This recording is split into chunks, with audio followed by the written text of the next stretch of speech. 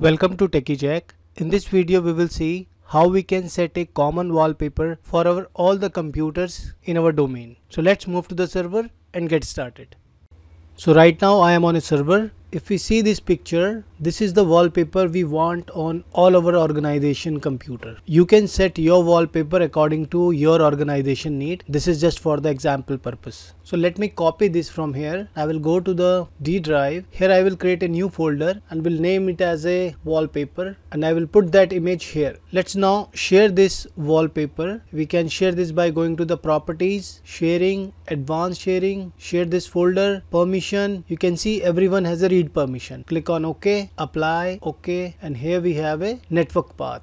Let's copy it here and you can see wp.png that is our image name. So we will type wp.png if we go and try to open this yes we are able to open this image. Let me close this. To apply it on the entire domain let's go to the tools group policy management and here we have to expand the domain that is our techijack.local on the techijack.local we will just right click and create a GPO in this domain. And I will name the policy as a wallpaper. We'll click on OK. Let's click on edit. Now inside the user configuration under the policies we have a administrative templates. And inside the desktop we can expand this. And here we have a desktop. And if we see here desktop wallpaper it is not configured right now. So let me enable this policy. So let me specify the path and I will say fit. Click on apply, click on OK. Let me close this and close this as well. Let's update the policy by GP update. Policy update has completed successfully.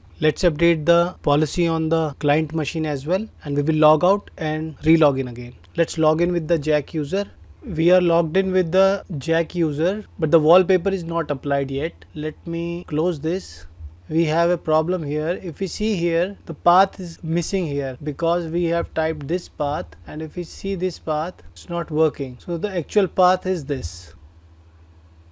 I will type this path here. Instead of PNG we will do it as JPG also I change the format inside this. I change the format to the JPG. Though the PNG should also work but I change it as a JPG. Let's click on apply. OK. And instead of fit this time I am doing it as center. And let's update the policy again. Let me sign in as a Jack user and let's try to update the policy here as well. And if we run this command rsop.msc it will show us the policy applied on this machine let me close this here we can see the administrative templates desktop and the desktop wallpaper we have my dc01 wallpaper wp.jpg let's log out and re-log in here and let's see if it is applied or not let's try to re-log in with the jack user now you can see that we have that wallpaper set on our screen. So this wallpaper will be applied to the entire domain computers. I hope the video was useful. Let's meet in a next video. Thanks for watching.